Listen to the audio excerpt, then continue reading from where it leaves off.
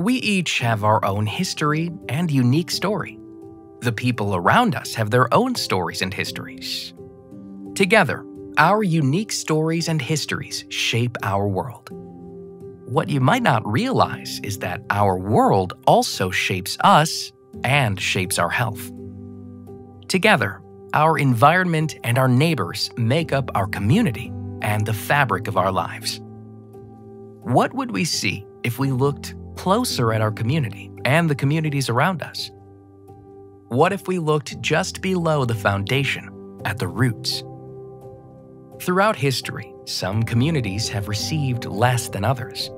Still today, things like housing, income, education, and our sense of belonging in society are not the same in every community or for every person. Yet they directly benefit or hurt our health. But how do these things affect health? Let's take a closer look. Some people live in communities where they have fewer opportunities for better education, fresh food, safe housing, or jobs that pay enough to meet their basic needs. Each person's health depends on their living and working conditions, as well as the resources available to them. Where we live and work and the types of resources we have access to are interconnected, often overlap and vary within and across communities based on the history, culture, norms, attitudes, behaviors, and lived experiences of people. When we begin to understand that our communities impact our health and we pay attention to the world around us, we start to ask questions. We may start to wonder, what if? What if we could start at the root by investing in our neighborhoods, communities, and larger society? Could we create a world where everyone has the same opportunity to be healthy? Even if it doesn't always seem like it, we have the power to shape the world we live in. We can make things different and better and fair for everyone. We can create health equity.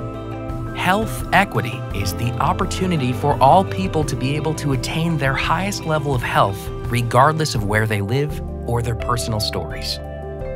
Addressing health issues at the individual level is not enough.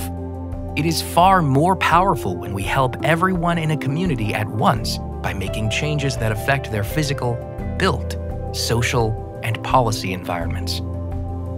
To achieve health equity, we rely on connecting science, policy, and practice to put real change into place. That's where public health can play a major role in helping to achieve health equity. When public health champions work collaboratively with those of housing, transportation, and education, we can move towards creating fair and equitable opportunities for everyone to be healthy. Health equity begins to happen when people in communities engage with one another and explore policies, programs, initiatives, and services that are centered on their shared problems and successes. With the right collaborations and initiatives, we can create a society where all people are healthier, safer, and able to play, grow, learn, and live in places that promote good health. It takes all of us to show up, to have conversations, to decide what resources we need and what actions we can and should take to achieve health equity. Learn more, take action, make a difference. Visit cdc.gov/health equity to learn more.